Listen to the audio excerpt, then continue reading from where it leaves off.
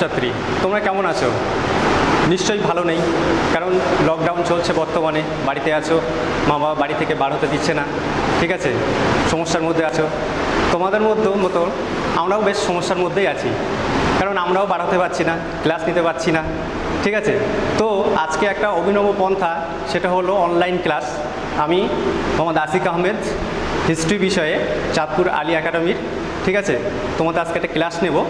সেটা খুবই একটা গুরুত্বপূর্ণ ক্লাস ঠিক আছে? যেটা তোমাদের মাধ্যমিক পরীক্ষার্থী তোমরা, সেখানে তোমাদের ভীষণ একটা ইন্সপায়ার হবে তোমরা, ঠিক আছে? সে বিষয়ে আজকে আমরা আলোচনা করব যে একটা টপিক সেই টপিকটা হলো আঠেরোশো সাতান্ন সালে মহাবিদ্রোহ, ঠিক আছে? একটু লিখে দিই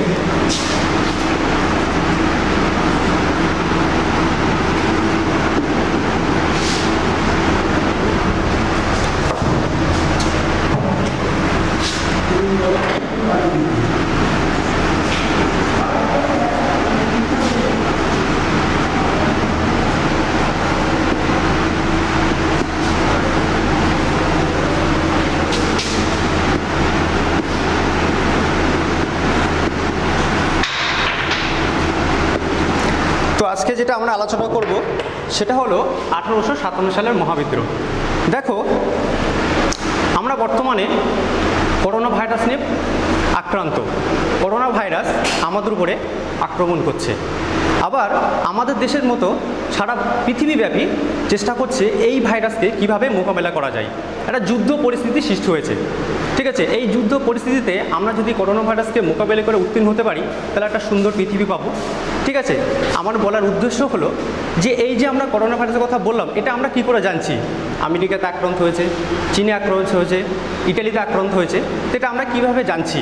দেখো, আমরা জানছি হোয়াটসঅ্যাপ, ফেসবুক, সামাজিক মাধ্যম তোমার, নিউজপত্র আছে, সংবাদপত্র আছে, এভাবে জানছি। কিন্তু আমাদের আজকের যে টপিক আঠেরোশো সাতান্ন সালের মহাবিদ্রোহ। হয়েছিল কত কবে? আঠেরোশো সাতান্ন সালে, অনেক দিন আগে।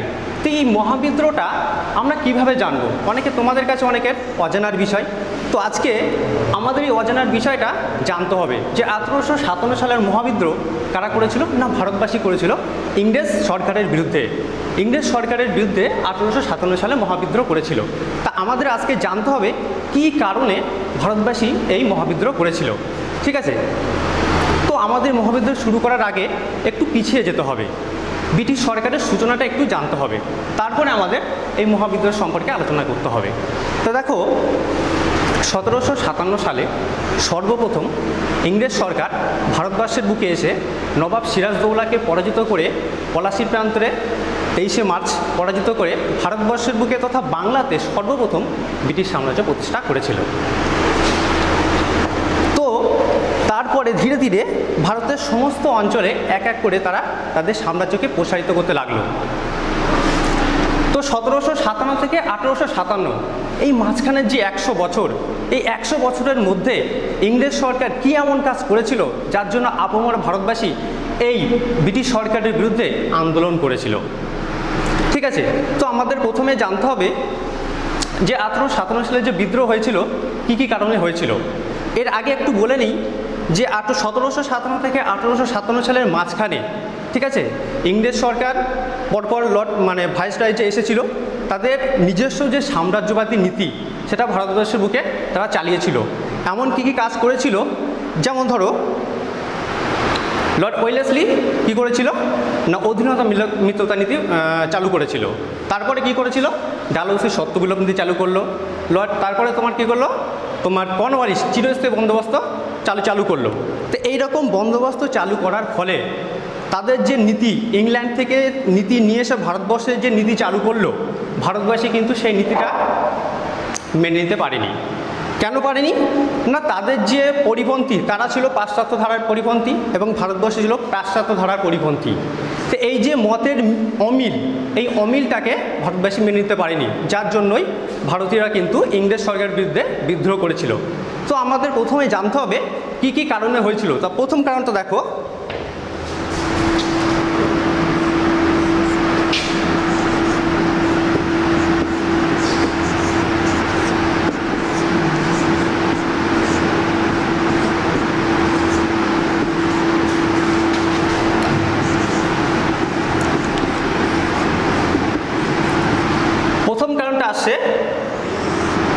রাজনৈতিক কারণ। রাজনৈতিক কারণ মানে কি? দেখো, সতেরোশো সাতান্ন সালের পরে ইংরেজ সরকার বাংলাতে প্রথম তাদের সাম্রাজ্য বিস্তার করল। সতেরোশো চৌষট্টি সালে বাংলা, বিহার, উড়িষ্যাতে তাদের বাংলার যে ভূমি রাজস্ব ব্যবস্থা, সেই ভূমি রাজস্ব ব্যবস্থাটা তারা নিজের হাতে করায়ত্ত করল। তার ফলে সতেরোশো তিরানব্বই সালে লর্ড ওয়েলেসলি তোমার অধীনতা মিত্রতা নীতি চালু করলেন। এই অধীনতা মিত্রতা নীতিটা কি? না, লর্ড ওয়েলেসলি বললেন যে যে সমস্ত দেশীয় রাজা, যে সমস্ত দেশীয় রাজা এই নীতি গ্রহণ করবে, তাদের বৈদেশিক যে নীতি, যা বৈদেশিক যে নিরাপত্তা, সেটা ব্রিটিশ সরকার বহন করবে। আরও যদি ভালোভাবে বোঝানো যায়, তাহলে দেখো বুঝবে, ধরো কোনো একটা দেশ বা মনে করো আমাদের এইখানটা একটা অঞ্চলে একটা রাজা রাজত্ব করছে। অন্য একটা দেশের রাজা এসে বলছে যে তোমার দেশে নিরাপত্তা আমি দেবো। বা বাইরে থেকে কোনো রাজা এসে যদি তোমার দেশে আক্রমণ করে, তাহলে সেই আক্রমণের প্রত্যুত্তর আমি দেবো, তুমি নিরাপদ থাকবে। এর পরিবর্তে কি হবে? না, তোমার রাজ্যে একদল ইংরেজ সেনাকে রাখতে হবে। সেই ইংরেজ সেনার যাবতীয় খাবার দাবার ভরণ পোষণের দায়িত্ব তোমাকে নিতে হবে। ঠিক আছে? যদি তুমি তার ভরণ পোষণ নাও, তাহলে আমি তোমার বৈদেশিক ক্ষেত্রে তোমার নিরাপত্তা দেব। ঠিক আছে? তো এই যে নীতিটা, এই নীতি সর্বপ্রথম গ্রহণ করলেন কে? হায়দ্রাবাদের নিজাম। কেন গ্রহণ করলেন? নিজাম ছিল একেবারেই দুর্বল। তার কোনো বৈদেশিক বিদ্রোহ পরিচালনার ক্ষমতা তার ছিল না। ঠিক আছে? তো এই যে নীতি, নিজাম নীতিটা গ্রহণ করলেন। ঠিক আছে? গ্রহণ করার পরে নিজামের বংশের যে জনসাধারণ, নিজামের বংশের যে জনসাধারণ, সেটা বিষয়টা মেনে নিতে পারেনি। তারা ইংরেজ সরকারের বিরুদ্ধে বিদ্রোহ করতে লাগল। তারপর চলে আসি লর্ড ডালহৌসির সত্য বিলোপ নীতি লর্ড ডালহৌসি যখন ভারতের সাম্রাজ্য বিস্তার করতে এলেন, তিনি তিনটি নীতি গ্রহণ করলেন। তিনটি নীতি কি? না, প্রথম হলো, এক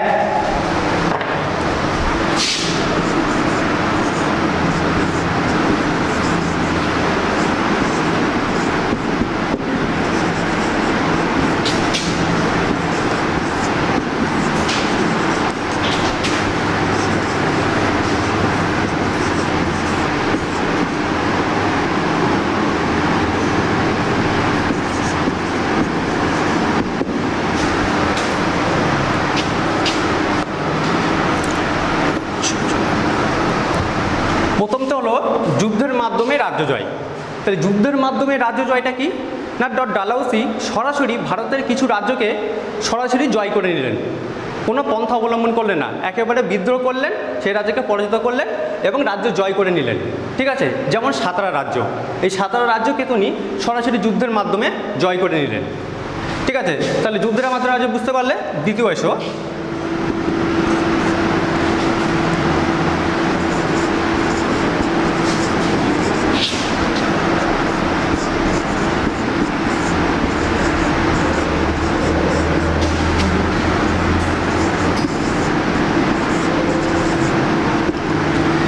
দ্বিতীয়টা হলো সত্য বিলোপ নীতি। এই সত্য বিলোপ নীতিটা কি? না, সত্য বিলোপ নীতিটা হলো, লর্ড ডারোসি বললেন যে দেশ রাজা এই সত্য নীতি পালন করবে, তাদেরকে ব্রিটিশ সাম্রাজ্যে একটা নিরাপত্তা দেওয়া বলে। তো এই সত্য বিলোপ নীতিকে উনি তিনটি ভাগে ভাগ করলেন। এই সত্য বিলোপ নীতিকে উনি তিনটি ভাগে ভাগ করলেন। এই তিনটি নীতি কি? না, উনি করলেন কি? প্রথম হচ্ছে হচ্ছে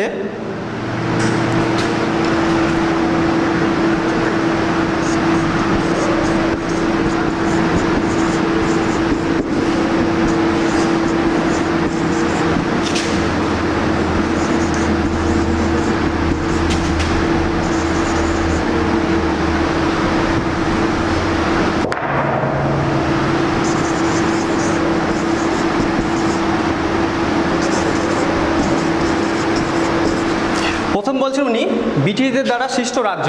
লর্ড ডাউলসি ভারতবর্ষের বুকে এসে কিছু রাজ্যে সৃষ্টি করেছিলেন। একেবারে মানে নতুন রাজ্য।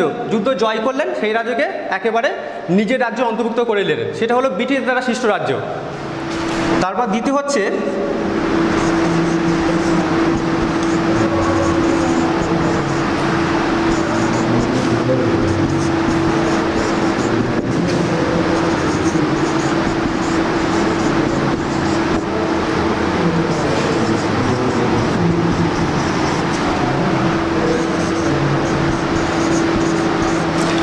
বলছেন ব্রিটিশদের অধীন করদ রাজ্য।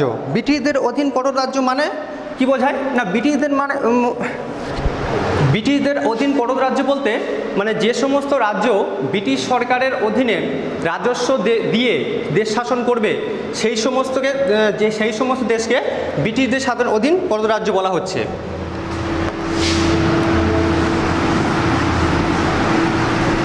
তিন নম্বর কি বলছেন? যে, স্বাধীন রাজ্য। মানে একেবারে স্বাধীন রাজ্য তাদেরকে কোনো কর দিতে হবে না। প্রথম শ্রেণির ক্ষেত্রে তুমি বলছেন যে স্বাধীন দেশীয় রাজ্য, এই রাজাদের ক্ষেত্রে, এই রাজারা যদি কোনো রাজা তাদের দত্তক পুত্র না থাকে, তাহলে তারা দত্তক গ্রহণ করতে পারবে না। দত্তক যদি না গ্রহণ করতে পারে, তাহলে সেই রাজ্য ব্রিটিশ সাম্রাজ্যভুক্ত হবে। বুঝতে পারলে? আর দ্বিতীয় ক্ষেত্রে উনি কি বললেন যে ব্রিটিশদের অধীন করদ রাজ্য। দ্বিতীয় শ্রেণির ক্ষেত্রে উনি বললেন যে সমস্ত ব্রিটিশ মানে দেশীয় রাজারা দত্তক গ্রহণ করতে মানে দত্তক পুত্র নেই তারা দত্তক পুত্র গ্রহণ করতে পারবে। কখন পারবে? না যখন ব্রিটিশরা অনুমতি দেবে। ব্রিটিশ সরকার যদি অনুমতি দেয় তাহলে তারা নতুন মানে উম, দত্তক পুত্র গ্রহণ করতে পারবে। আর তৃতীয় ক্ষেত্রে উনি বললেন ব্রিটিশদের অধীন মানে স্বাধীন দেশীয় রাজ্য সেটা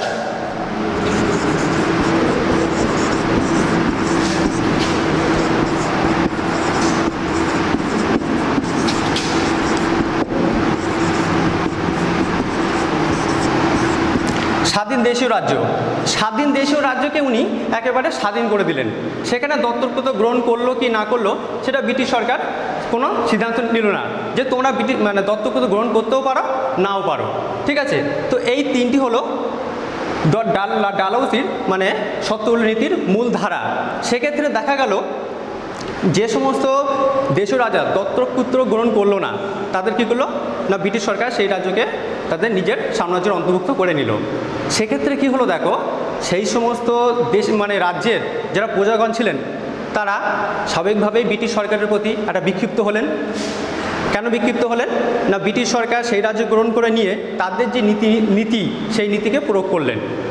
প্রয়োগ করার ফলে ভারতীয় জনগণ তাদের পূর্ববর্তী বা আগে থেকে যে নীতিগুলো তারা চালিয়ে আসছিল সেটার একটা মানে বিস্তার ব্যবধান ঘটলো, ফলে ব্রিটিশ সরকারের বিরুদ্ধে তারা আন্দোলন করতে শুরু করল। এই গেল তোমার রাজনৈতিক কারণ।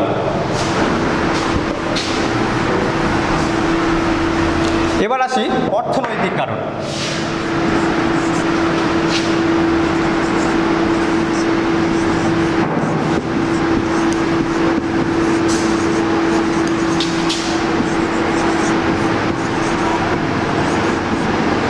অর্থনৈতিক কারণটা কি না সতেরোশো সাতান্ন সালের পর থেকে, সতেরোশো সাতান্ন সালের পর থেকে আঠেরোশো সাতান্ন সাল, এই মাঝখানে যে একশো বছর, এই একশো বছরে ব্রিটিশ সরকার বাংলা তথা ভারতবর্ষ থেকে প্রচুর পরিমাণ অর্থ সম্পদ তার নিজের নিজ দেশে নিয়ে চলে গেছিল। একটা ছোট্ট একটা উদাহরণ দিলে তুমি, তোমরা বুঝতে পারবে যে ব্রিটিশ সরকার বাংলা থেকে কী পরিমাণ অর্থ সম্পদ নিজের দেশে নিয়ে গেছিল। ভারতবর্ষে আমরা জানি মহাবিদ্যালয়ের নায়ক কে ছিলেন? Lord Canning. লর্ড ক্যানিং কে ছিলেন? না, ব্রিটিশের যে মন্ত্রী পরিষদ ব্রিটিশের মন্ত্রী পরিষদের একজন সাধারণ কর্মচারী। এই ব্রিটিশের মন্ত্রী পরিষদ তিনি একজন সাধারণ কর্মচারী ছিলেন। তাকে সেখান থেকে পাঠানো হলো কোথায়? না, বাংলায় মহাবিদ্যালয়ের বিদ্রোহের নেতৃত্ব দেওয়ার জন্য। তো উনি ওখান থেকে কোথায় এলেন? না মহাবিদ্যালয় আঠেরো সাতান্ন সালে বাংলাতে মহাবিদ্যালয়ের নেতৃত্বে এলেন। যাক আঠেরো সাতান্ন সালে বিদ্রোহ হয়ে গেল, ভারতবাসী পরাজিত হলো। তারপরে উনি এখান থেকে এত পরিমাণ সম্পদ নিয়ে গেছিলেন, তার নিজের দেশে একটা পরিসংখ্যানে গবেষণায় বলছে যে লর্ড ক্যানিং বাংলা থেকে এত পরিমাণ সম্পদ নিজের দেশে নিয়ে গেছেন যে ওখানকার টোটাল যদি সাতজন টোটাল মানে রিচ ম্যান মানে সব থেকে বড় লোক সাতজন লোক ধরা হয়, তার মধ্যে উনি একজন ছিলেন। কথাটা আমি আবার রিপিট করছি আর একবার ভালো করে বুঝে নাও। লর্ড ক্যানিং ছিলেন ইংল্যান্ডের একজন সাধারণ কর্মচারী। উনি ভারতবর্ষ তথা বাংলাতে এসে মহাবিদ্যালয়ের জয় করার পরে বাংলা থেকে এত পরিমাণ অর্থ সম্পদ নিজের দেশে নিয়ে চলে গেছিলেন যে ওখানকার সব থেকে রিচ বা সব থেকে ধনী যে সাতজন লোক থাকে, তার মধ্যে উনি একজন হয়েছিলেন। তাহলে একটা জিনিস ছোট্টভাবে চিন্তা করো যে উনি বাংলা থেকে কত পরিমাণ সম্পদ নিয়ে চলে গেছিলেন। সেই সম্পদ কাদের সম্পদ? আমাদের সম্পদ। আমাদের সম্পদ উনি নিয়ে চলে গেছিলেন। তো লর্ড ক্যানিং যদি একজন সাধারণ কর্মচারী হয়ে এত পরিমাণ সম্পদ নিয়ে যেতে পারেন তাহলে বাংলাতে যারা ভাইসরয় বা বড় বড় আন্দোলন নেতারা এসেছিলেন, তারা কত পরিমাণ সম্পদ নিয়ে গেছিল? একটা জিনিস চিন্তা তাহলে তোমরা করো। যে কত পরিমাণ সম্পদ আমাদের বাংলাতে ছিল, বাংলার অর্থ সম্পদ মানে একেবারে জলের মতো করে টেনিস তিরুপতির দেশে ওরা নিয়ে চলে গেছিল। তো এই যে সম্পদের বহির্গমন ভারতবাসী কিন্তু মেনে নিতে পারেনি। ভারতবাসী বলেছিল বা বাংলা জনগণ বলেছিল, এত পরিমাণ সম্পদ বিদেশে তোমাদের দেশে নিয়ে যাওয়া যাবে না। তাহলে আমাদের দেশের যে আর্থিক অবস্থা, সেটা ঘাটতি দেখা যাবে। তো এই যে তারা কথা শোনেনি, তারা জোর করে নিয়ে গেছে। এই যে নিয়ে যাওয়ার ফলে ভারতবাসী একটা আর্থিক সঙ্গ মানে পতন বা অবশীল মানে আর্থিক অবনতি, সেটা দেখা দিয়েছিল। এই দেখা দেওয়ার ফলে ভারতবাসী ইংরেজ সরকারের বিরুদ্ধে একে একে যুদ্ধ করেছিল। এই যুদ্ধের একটা প্রতিফলন আমরা দেখতে পাই, ছোটো ছোটো যে যুদ্ধগুলো হয়েছিল কোল বিদ্রোহ হয়েছিল, সাঁওতাল বিদ্রোহ হয়েছিল, তারপর রংপুর বিদ্রোহ হয়েছিল, সন্ন্যাসী ফকির বিদ্রোহ হয়েছিল, ফরাজি আন্দোলন হয়েছিল, অহাবি আন্দোলন হয়েছিল। এই যে ছোট ছোট আন্দোলনগুলো হয়েছিল, এই আন্দোলনগুলো ছোট ছিল। নির্দিষ্ট অঞ্চলের মধ্যে সীমাবদ্ধ ছিল। কিন্তু আঠেরোশো সাতান্ন সালে এইসব ছোট ছোট আন্দোলনগুলো একজোটে আঠেরোশো সাতান্ন সালে ব্রিটিশ সরকারের বিরুদ্ধে ঝাঁপিয়ে পড়ল বা মহাবিদ্রোহের সৃষ্টি করল। তো এই হলো অর্থনৈতিক কারণ। তিন নম্বর আসি সামাজিক কারণ।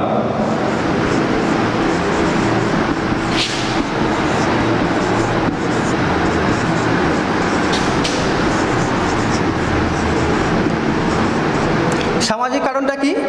না, সামাজিক কারণ হলো ইংল্যান্ড থেকে? ইংল্যান্ড থেকে যে সমস্ত কর্মচারী ভারতে এসেছিল বা যে সমস্ত সিপাহীদেরকে ভারতে নিয়ে আসা হয়েছিল, তাদেরকে ভারতের সিপাহীদের থেকে আলাদা করা হয়েছিল। ধরো, ভারতের কোনো নাইট ক্লাবে যদি ইংরেজ সেনারা যায়, তাহলে ভারতীয়দেরকে সেখানে যেতে তারা নিষেধ করেছিল। ভারতীয়দেরকে নেটিভ কুত্তা বলা হতো। এমনই বর্বরভাবে তাদের দেখা হতো।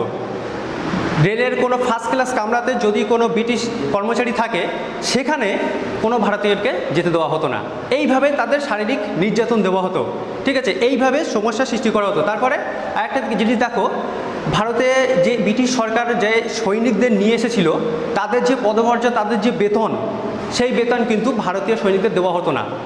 সেই সময় একটা রিওয়াজ বা প্রচলিত ছিল যে ইংরেজ সরকার ব্রহ্মদেশে নিয়ে গেছিলেন যুদ্ধ করার জন্য। সেখানে ইংরেজ সরকারও গেছিল, আবার ভারতীয় সৈনিকরাও গেছিল। ইংরেজ সরকারকে দেওয়া হয়েছিল এক্সট্রা যাদের, তাদের যে মাইনে দেওয়া হয়- হতো, তার থেকে এক্সট্রা মাইনে তাদের দেওয়া হয়েছিল ওই ব্রহ্মদেশে যুদ্ধ করার জন্য। কিন্তু ভারতীয়র ক্ষেত্রে কিন্তু সেটা করেনি। ভারতীয়দের ক্ষেত্রে তাদের ন্যায্য যেটা বেতন, সেটাই দিয়েছিল। এক্সট্রা যে বেতন ব্রিটিশ সৈনিকদের দিয়েছিল, সেটা কিন্তু ভারতীয়দের দেয়নি। এই যে মানে দামের যে বৈষম্য, যে তারতম্য, সেটার জন্য কিন্তু সৈনিকরা বিদ্রোহ করেছিল। এটা ছিল সামাজিক কারণ। তারপর তিন নম্বর চার চার নম্বর হচ্ছে,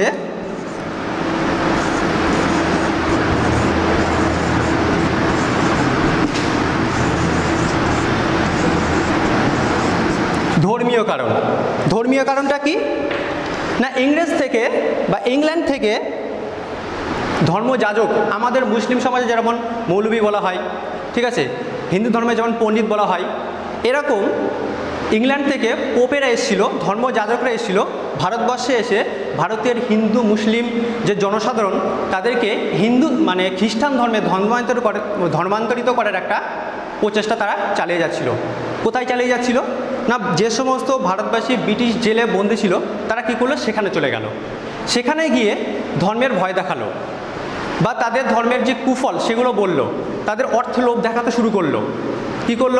না, বলল যে তোমরা যদি খ্রিস্টান ধর্মে আসো, তোমাদের প্রচুর অর্থ সম্পদ দেওয়া হবে। এইভাবে তাদেরকে বা ভারতীয় হিন্দু এবং মুসলিমদেরকে খ্রিস্টান ধর্মের ধর্মান্তর করার একটা প্রচেষ্টা তারা চালিয়ে যেতে লাগল। কিন্তু ভারতবাসী সেটা মেনে নিতে পারেনি। ঠিক আছে? তারা আরও কী করল?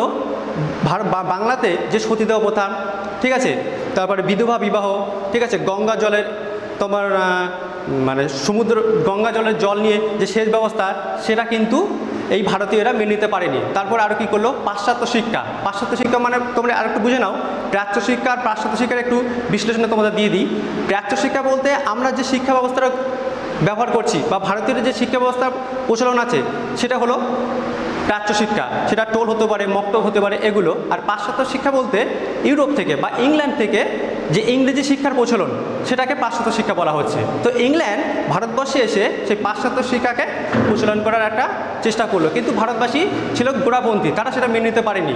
এই জন্য ভারতীয় সেনারা ইংরেজ সেনাদের বিরুদ্ধে একটা বিদ্রোহ পরিকল্পনা করতে লাগল। এটা ছিল ধর্মীয় কারণ। লাস্টে যেটা হচ্ছে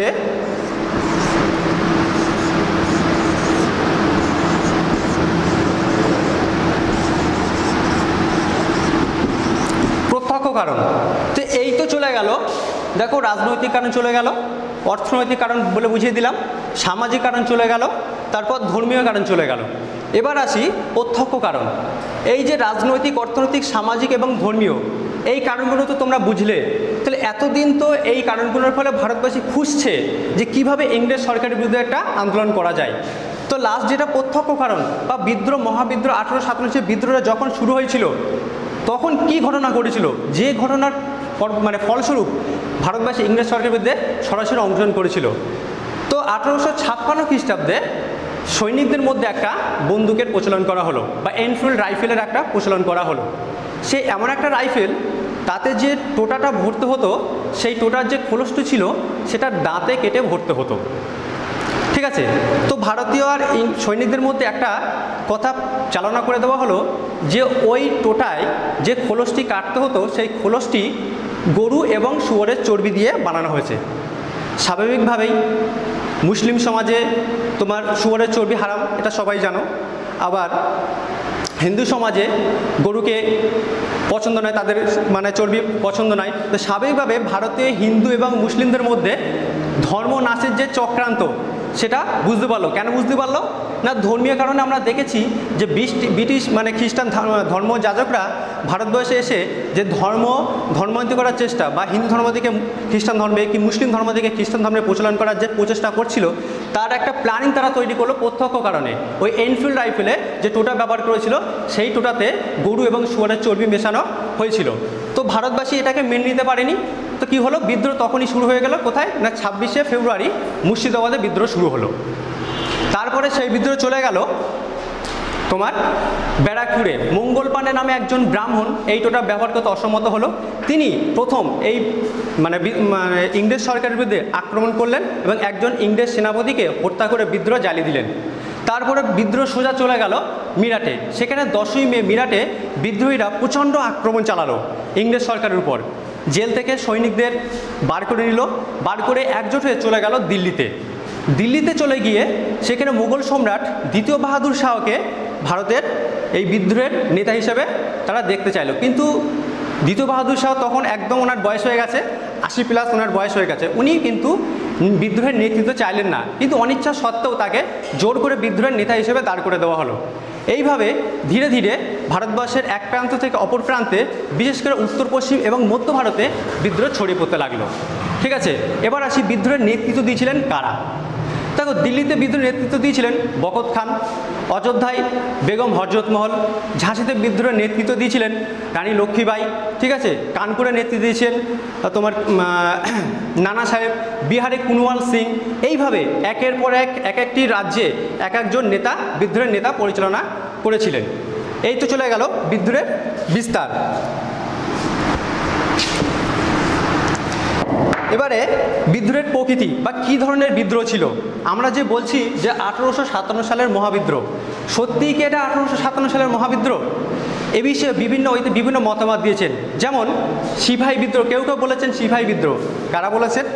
না, অক্ষয় কুমার দত্ত, বিদ্যাসাগর, ঠিক আছে? তারপরে তোমার দাদাভাই নৌরজি, হরিশ্চন্দ্র মুখোপাধ্যায়, এই সমস্ত বিশিষ্ট বাঙালি সমাজ, তারা বলছেন যে এটা ছিল সিপাহীদের বিদ্রোহ। সিপাহীদের বিদ্রোহ কেন বলছেন? না, যেহেতু এই বিদ্রোহ সিপাহীরা শুরু করেছিল, সেহেতু তারা বলছেন এটা সিপাহীদের, যেহেতু সিপাহীরা শুরু করেছিল, তাই এটা সিপাহী বিদ্রোহ। আবার অনেকে বলছেন সামন্ত বিদ্রোহ।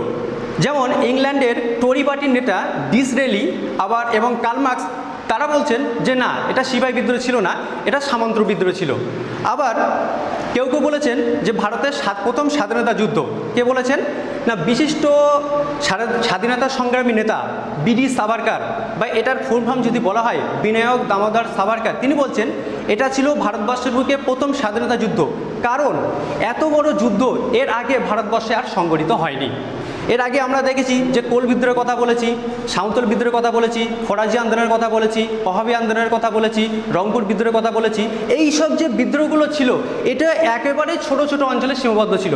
এত বড় বিদ্রোহ বা ভারতের সমস্ত অঞ্চলের জনগণ কিন্তু একসঙ্গে বিদ্রোহে সামিল হয়নি। এই প্রথম আঠেরোশো সাতান্ন সালে মহাবিদ্রোহে ভারতের জনগণ সামিল হয়েছিল।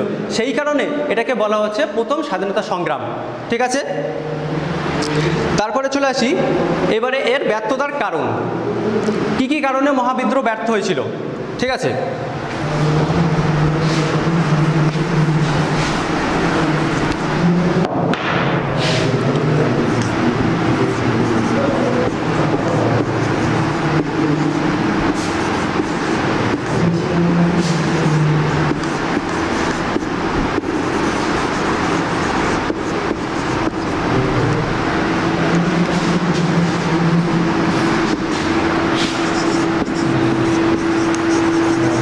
প্রথমে আছে শিক্ষিত বাঙালি সমাজের ভূমিকা তা শিক্ষিত বাংলা সমাজের ভূমিকা কি? না ভারতবাসী শিক্ষিত যারা জনসাধারণ ছিলেন, কারা ছিলেন? অক্ষয় কুমার দত্ত। অক্ষয় কুমার দত্ত, তারপর দেবেন্দ্রনাথ ঠাকুর, তারপরে তোমার আসি হরিশ্চন্দ্র মুখোপাধ্যায়, ঠিক আছে? ঈশ্বরচন্দ্র গুপ্ত, এরা বলছেন যে না, ভারতীয় সমস্ত জনগণ কিন্তু একসঙ্গে এই বিদ্রোহ পরিচালনা করতে পারবে না। যদি ভারতীয় জনগণ এই বিদ্রোহ পরিচালনা করে, তাহলে ভারতবাসী পরিচিত হবে, ইংরেজ সরকার জিতে যাবে এবং ভারতবাসীর উপর অত্যাচার আরও বেড়ে যাবে। ঠিক আছে? তারপরে আসি, সর্বভারতীয় নেতার অভাব। হটসন নামে একজন ইংরেজ সেনা, মহাবিদ্রোহ যখন দ্বিতীয় বাহাদুর সহ রাজা হলেন, তিনি ভয়ে কী করলেন না? হুমায়ুনের কবরের মধ্যে ঘিরে নুকিয়ে পড়লেন। তাই হটসন কী করলেন? হুমায়ুনের কবর থেকে দ্বিতীয় বাহাদুর শাহকে বের করে নিয়ে আসলেন। তাকে রেঙ্গুনে নির্বাসন করা হলো এবং তার দুই পুত্র এবং পৌত্রদের হত্যা করে মুঘল সমাজকে একেবারে বিসর্জন দিলেন বা মুঘল সমাজে ধ্বংস করে দিলেন।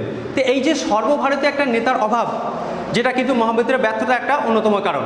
আর একটা কী হলো? যোগাযোগ ব্যবস্থার অভাব। দেখো, আঠেরোশো তিপ্পান্ন সালে ডালহৌসি রেলপথ বিস্তার করেছিলেন। ভারতের সব জায়গায় কিন্তু বিদ্রোহ সমানভাবে হয়নি। হয়তো বাংলাতে আজ হয়েছে দেখা যাচ্ছে এক সপ্তাহ পরে দিল্লিতে হয়েছে। তো ইংরেজদের সুবিধা দেখো, বাংলাতে বিদ্রোহ দমন করার পরে রেল যোগাযোগে তারা বাংলা থেকে সমস্ত সৈনিকদের নিয়ে চলে গেল দিল্লিতে। সেখানে সৈনিকদের দমন করে সেখান থেকে চলে গেল হয়তো মিরাটে। কিন্তু প্রশ্ন হলো, ভারতবাসীর তো রেল ব্যবস্থা ছিল না। তাহলে বাংলা থেকে বিদ্রোহ হেরে যাওয়ার পরে তারা কী করে দিল্লিতে যাবে? এই যে যোগাযোগ ব্যবস্থার একটা অভাব, এই অভাবের ফলে কিন্তু ব্রিটিশ সরকার যুদ্ধে জয়ী হলো। আর একটা পয়েন্ট হলো, সেটা হলো অস্ত্রের অভাব। ভারতবাসী কিন্তু সেরকম বড় ধরনের অস্ত্র ছিল না। ব্রিটিশের কাছে কী ছিল? কামান ছিল, ঠিক আছে? বন্দুক ছিল, এই ধরনের ভারী ধরনের অস্ত্র ছিল। কিন্তু ভারতবাসী কিছু ছিল, তলোয়ার, বল্লম, ইরান কেস্তে চাষি মানুষের যেগুলো থাকে কি সেইগুলো সেইগুলো দিয়ে কিন্তু কোনো একটা যুদ্ধ জয় করা যায় না। এই যে অস্ত্রের অভাব, এই অস্ত্রের অভাবের ফলেই কিন্তু ব্রিটিশ সরকার যুদ্ধে জয়ী হলেন তার পরবর্তী পয়েন্ট দেখো। ভারত সরকারের যে পরিকল্পনা বা এই যে মহাবিদ্যুৎ ধরো ভারতবাসী জিতে গেল।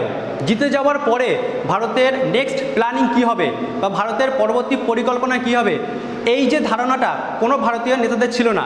ঝাঁসি রানী লক্ষ্মীবাই তাতিয়া টোপি কুনওয়াল সিং, এদের, এরা দক্ষ নেতা ছিলেন, কিন্তু সর্বভারতীয় নেতা হওয়ার যে যোগ্যতা, এটা কিন্তু এদের ছিল না। এই যে অভাব, এই যে সর্বভারতীয় নেতার অভাব, এই নেতার অভাবের ফলে কিন্তু মহাবিদ্রোহ ব্যর্থ হলো। ঠিক আছে? তো তারপর মহাবিদ্রোহের ফলাফল। কি ফলাফলটা কি হলো? না কোম্পানির শাসনের অবসান। আঠারোশো আটান্ন সালে আমরা দেখলাম মহাবিদ্রোহ ভারতীয় জনগণ পরাজিত হলো। পরাজিত হওয়ার ফলে ব্রিটিশ সরকার ভারতের যে ইস্ট ইন্ডিয়া কোম্পানি ক্ষমতা দিয়েছিল, সেই ক্ষমতাটাকে সরাসরি নিজের হাতে নিয়ে নিল। কে নিয়ে নিল? না, মহারানী ভিক্টোরিয়া। মহারানী ভিক্টোরিয়া সরাসরি ভারতের শাসনভার নিজের হাতে নিয়ে নিল। আঠারোশো আটান্ন খ্রিস্ট পয়লা নভেম্বর তিনি একটা ঘোষণাপত্রে বললেন যে এতদিন পর্যন্ত ভারতীয় যে জনগণ দত্তকগত গ্রহণ করার অধিকার ছিল না, তারা সেটা গ্রহণ করতে পারবে। অর্থাৎ ভারতীয় রাজারা তাদের পুত্র সন্তান না থাকলে দত্তক নিয়ে রাজ্য পরিচালনা করতে পারবে। ঠিক আছে, এই যে, এই ধরনের বেশ কিছু পরিবর্তন, বেশ কিছু পরিবর্তন মহারানী ভিক্টোরিয়া করলেন। আরও কি বললেন উনি? উনি- বললেন যে, ভারতীয় মানে এতে ভারতীয় তোমার সামরিক বাহিনীতে দুটি শ্রেণীতে উনি ভাগ করলেন। প্রথম শ্রেণি উনি কী করলেন? না, সামরিক জাতি। অর্থাৎ বিদ্রোহে যারা ইংরেজ সরকারকে সাহায্য করেছিল যে সমস্ত রাজ্য, ঠিক আছে, সেই সমস্ত রাজ্যকে উনি সামরিক জাতি আখ্যা দিয়ে সেই রাজ্য